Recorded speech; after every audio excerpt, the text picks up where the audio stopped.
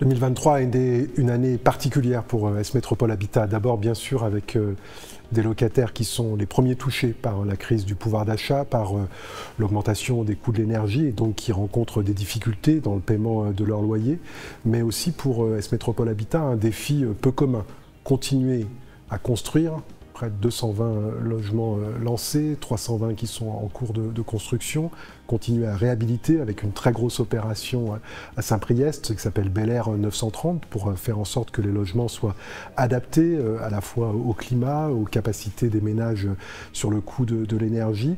Donc continuer ces investissements avec un soutien toujours très faible de l'État concernant le modèle de logement social en France. Et donc cette équation à laquelle les équipes d'Est Métropole Habitat ont dû s'atteler pour euh, préserver une qualité de service, continuer à s'engager pour construire et réhabiliter avec des moyens euh, qui sont moindres. Je crois que L'objectif pour un bailleur social, c'est de faire en sorte que euh, ces difficultés, ça ne soit pas les locataires qui les payent. Et donc c'est à cela qu'Est Métropole Habitat s'attache avec ses équipes dont je veux saluer la qualité du travail dirigé par Céline Reynaud, la qualité de l'engagement et puis aussi la motivation, l'engagement sur un certain nombre de valeurs.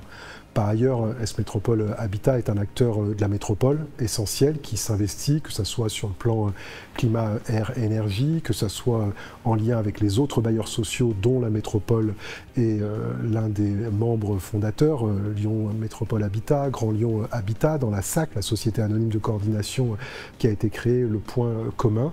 Et donc S Métropole Habitat est au, rendez-vous des exigences de, de, la métropole. Et puis enfin, S Métropole Habitat continue à œuvrer sur tous les pans du logement avec les acteurs du GIE La Ville Autrement. En témoigne ce lieu qui a été inauguré, qui est juste derrière moi, la verrière de l'autre soi. Voilà en tout cas pour ce rapport de l'année 23, à la fois des difficultés, des défis, mais auxquels S Métropole Habitat est préparé à répondre. En tout cas, il s'y attelle et je vais laisser la directrice générale Céline Reynaud vous en dire quelques mots. L'année 2023 aura été l'occasion de conforter l'intention de notre projet stratégique parce que faire de l'habitat social une opportunité, c'est encore plus vrai en temps de crise.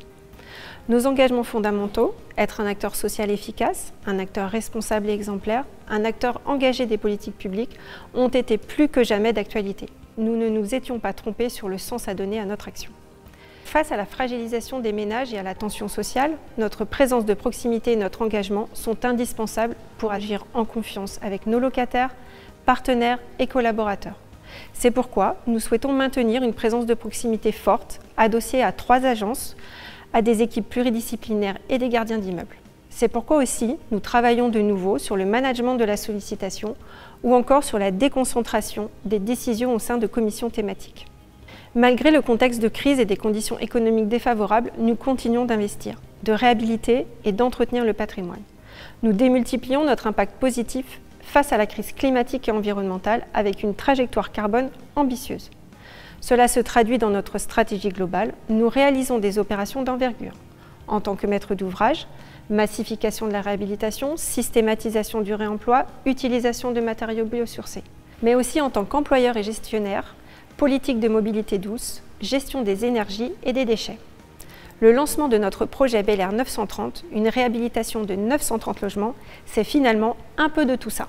Et nous cultivons notre singularité. Expérimenter, apporter des réponses positives en matière d'inclusion et de diversité, en particulier dans le cadre du GIE La Ville Autrement, partager avec nos parties prenantes pour mieux travailler, que ce soit en matière de dialogue social, dans le cadre des budgets participatifs ou au sein du Point commun, la société de coordination nouvellement créée avec Grand Lyon Habitat et Lyon Métropole Habitat. Voilà pour les chantiers initiés il y a trois ans maintenant et qui portent leurs fruits. Nous avons toujours fait le choix de ne pas subir.